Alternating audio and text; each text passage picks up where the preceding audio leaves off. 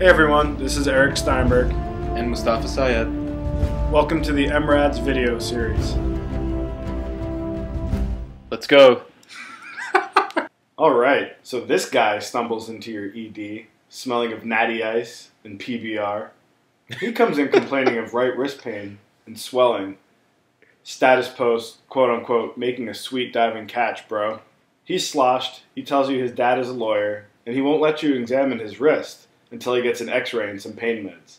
But he's sober enough to tell you he's allergic to Toradol. So, being a provider in a busy ED, you order the wrist film, and he gets wheeled to x ray. So, what's our differential for fallen outstretched hand, or foosh? What kind of injuries can he have? This video will discuss carpal pathology. So we'll discuss some basic wrist film pearls.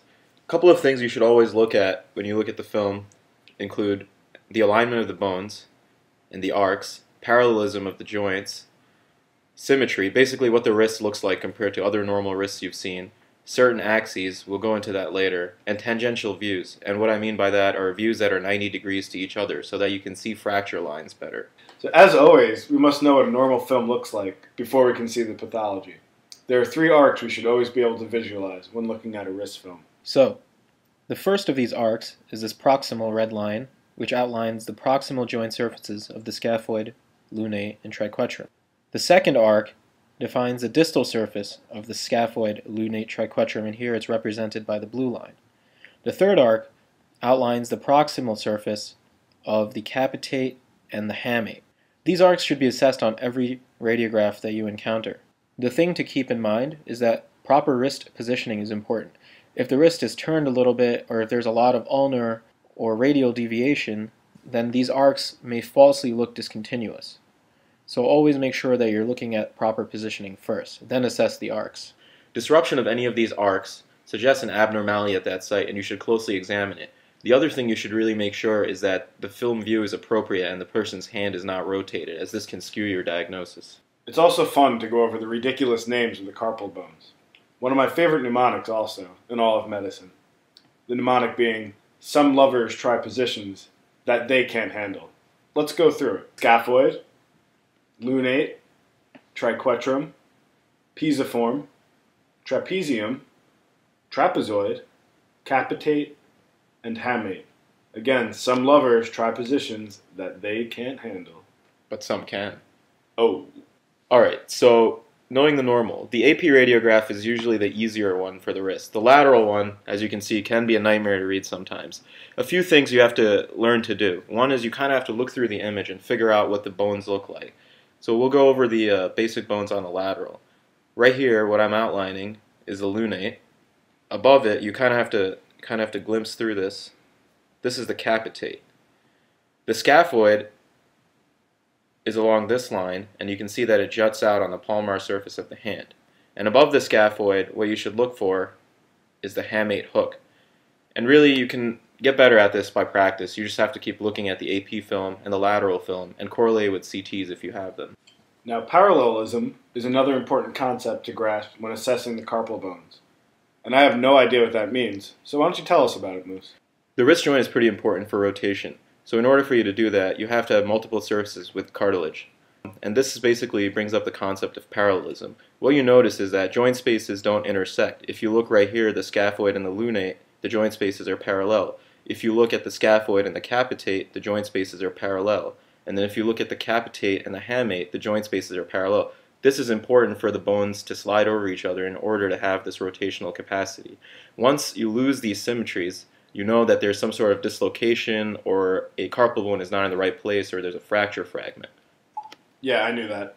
Yes, obviously.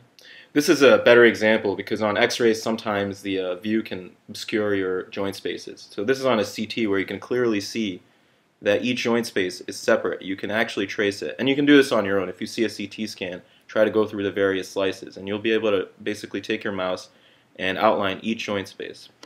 So let's apply what we've learned so far. So Eric, what do you think about the arcs? Are they normal? So yeah, all the arcs appeared to be normal.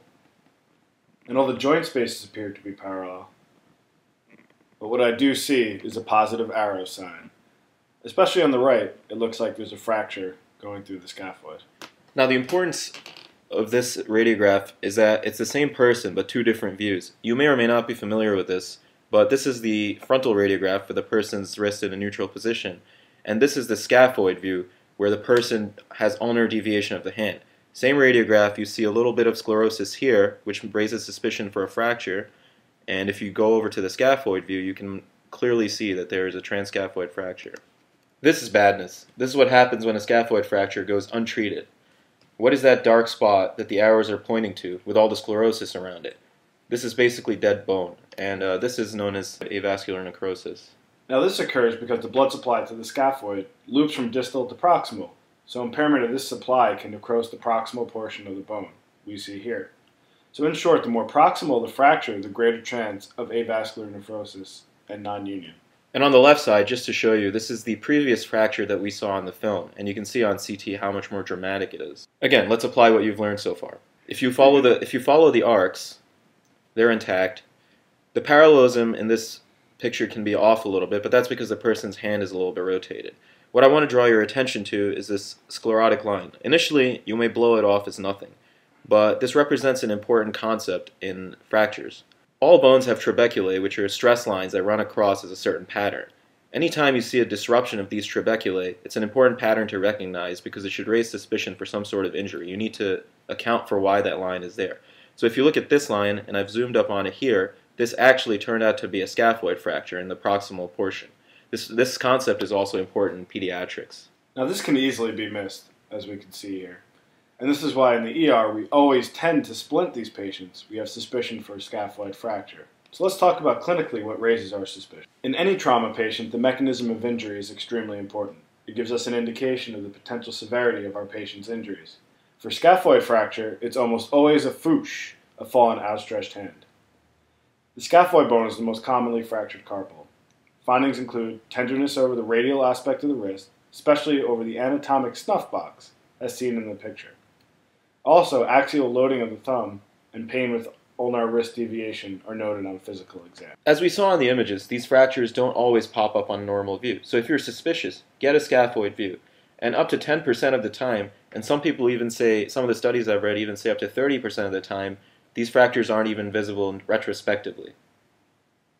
And this is why in the ED, we thumb spica splint all the ones we're suspicious for, right? Right. But also consider that another approach is to obtain a CT scan, as these are very sensitive for fractures. You could save the person the inconvenience of having a wet, smelly splint on for a week or two.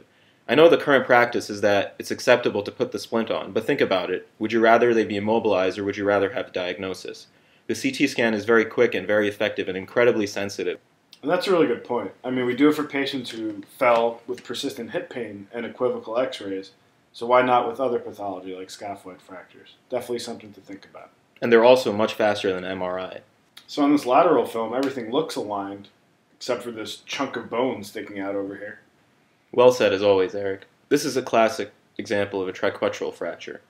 There are two types of triquetral fractures dorsal from hitting the ulnar styloid, or a fracture of the body, in which case assess the lunate and the other carpals in the arc. The most common fracture you'll encounter is the dorsal type. So let's apply what you've learned. So we'll quickly assess the arcs. All three appear okay. And we're going to look at the joint spaces. They appear fairly symmetric. But if you look behind, this is the pisiform. If you look behind it, this is the location for the triquetrum. What you see is a fracture line through the body of the triquetrum. If you rotate the hand a little bit to get the pisiform out of the way, again, you can see it much better. But there's definitely a fracture in the triquetral body. Eric, what do you call this? A triquetral body fracture. So for triquetral fractures, common mechanism of injury, again, is foosh, especially in hyperextension and ulnar deviation, or a direct blow to the dorsum of the wrist. On exam, we'll find pain at the ulnar aspect of the wrist and decreased grip strength. The radiologic pearls for this would be looking for the dorsal chip on the lateral view. This is the importance of having the 90 degree views because if you only had the AP, you would not be able to see the chip. And for these patients, we splint them in a short arm splint and refer them to ortho ASAP. So, completely normal wrist, right? What? This looks terrible, man. I hope it's not normal. It's normal. Yeah, right. Just on, kidding. on the frontal, everything looks smashed. There's no symmetry. They definitely can't draw the three arcs anywhere. And parallelism, I'm not even going to try that on this one. I would call this badness. That's correct. Badness? Also, the other thing you should notice, apart from the fact that you cannot draw your arcs and you don't see any symmetry or parallelism, is where's the lunate? It looks like the lunate is shoved up behind the uh, capitate and the hamate. And if you look at the shape, it looks like a triangle. These are important radiographic signs, and this is a result from the lunate dislocating towards the palm. This is your classic piece of pie sign. Here's another lateral. Uh, it doesn't look as good as the, the normal that we saw before. There's obviously bones falling off other bones, and I don't like it too much. So this guy falling off the radius should be the lunate, so looks like that's a lunate dislocation. You are correct. Here's a diagram to show you what the normal alignment of the bones should look like on the lateral view. Don't worry about the angles and stuff, you're not going to have time for that. Just get the idea that the capitate should be under the metacarpal and the lunate should be directly under your capitate, and all of these are kind of lined up with the radius. So for lunate dislocation, the mechanism is usually major, a fall from height or a motor vehicle crash. These patients have severe pain, severe swelling, and severe limited range of motion, and they can have something called acute carpal tunnel syndrome because of the impingement of the median nerve. The best way to test for this is sensory is the test for sensation of the finger pad of the index finger. The radiologic pearls for this include the piece of pie in the sky, the triangular shape that we saw earlier because the lunate is out of place and rotated, the spilled teacup where the lunate is no longer sitting on the radius but turned over on its side, and don't forget, there's a high likelihood of a scaphoid fracture associated with lunate dislocation, so always look at the scaphoid.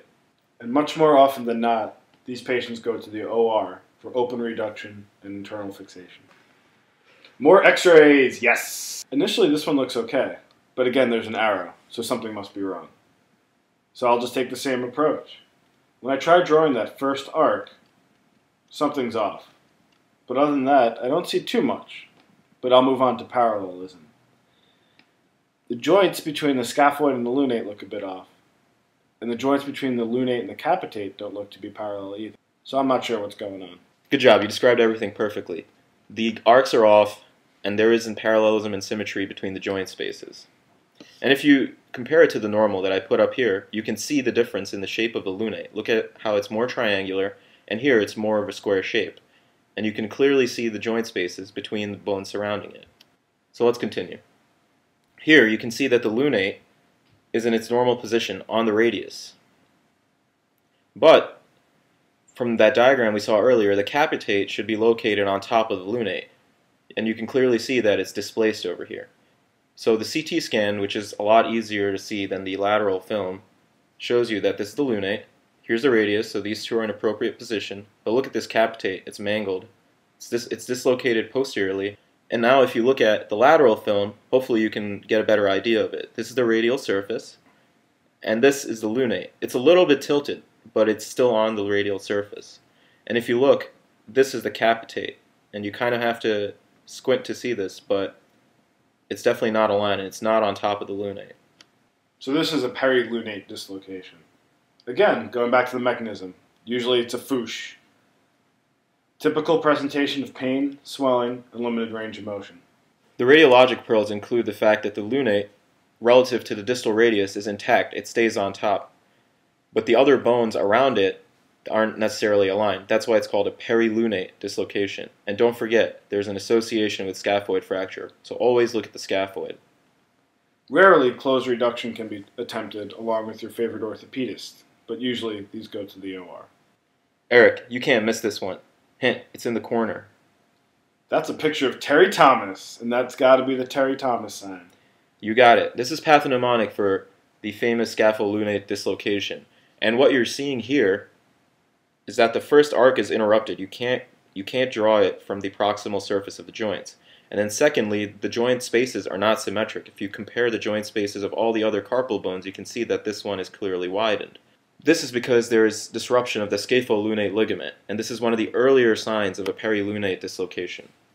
And very similar to a lunate or a perilunate dislocation, the mechanism is a foosh with a hyperextended wrist and ulnar deviation. These patients may present with pain and even clicking on the radial side of the wrist. They could have tenderness at Lister's tubercle, which is a small protuberance in the center of the distal radius that you can find when you palpate your distal radius while you flex your wrist. It's that little bump sticking out. Also, the patient could have a positive scaphoid shift test, which is pain with radial deviation while pressure is applied to the scaphoid tubercle, as seen in the picture. The radiologic pearls for this are pretty simple. They're just a widened scapholunate space, usually greater than 3 millimeters. Treatment, surgical repair. Can you see a fracture? Nah. Come on, there's really a fracture. No, I'm just kidding. Actually, I don't see one either. So why am I showing you this? This is where a good H&P comes in. What? I know, who does that? What? The previous x-rays did not really show any carpal fracture, but this special view, which is known as a tunnel view, is used for evaluating the hook of the hamate. Whenever there are hamate fractures, this is usually the most common fracture that happens. And as you can see, there is a lucent line going through the hook of the hamate. This would not have been seen on the other views. So this raises the importance of a tangential view so that you can see the fracture lines. So these fractures are rare. They're about 2% of all carpal fractures. Usually they're suffered by a direct blow, although one third of these fractures are actually due to repetitive swinging by golfers. Complications include ulnar nerve compression at the level of the Guyon Canal. The hook of the hamate is one of the borders of the Guyon Canal and is close to the motor branch of the ulnar nerve. So we wouldn't be surprised to find ulnar nerve findings, one of them being something called Froment sign. Because the ulnar nerve innervates the adductors of your fingers, if you take a piece of paper and have your patient hold it in between their thumb and their index finger, and they're unable to, to hold on to it as you try pulling it out, we know there's weakness in the muscles innervated by the ulnar nerve. Again, that's called Froment sign. The radiologic pearls for this include just obtaining the proper view, because that's really what it comes down to for diagnosing this fracture. And if you don't see anything on the x rays, which is very possible, and your clinical suspicion is high, get the CT. And in the ER, we put these patients in a volar splint and refer them to the hand surgeon. So when you take a quick look at this slide, you can assume that there is some theoretical reason to believe that NSAIDs retard fracture healing. And the thing is, animal studies have largely borne this idea. Human studies, on the other hand, don't wholly support this conclusion. While the retrospective studies mostly confirm the results of animal studies, there's only been two prospective studies that have been conducted, and they both reach opposing conclusions. While it may be likely that in fact NSAIDs do retard fracture healing, more research on humans is needed. Now, some authors recommend that in the presence of other risk factors which may adversely affect fracture healing, such as smoking, diabetes, or peripheral artery disease, NSAID use for analgesia should be strictly limited.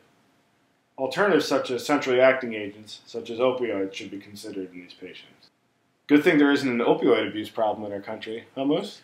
I love opioids. So we went over a lot of stuff so far. Let's recap over the basic points.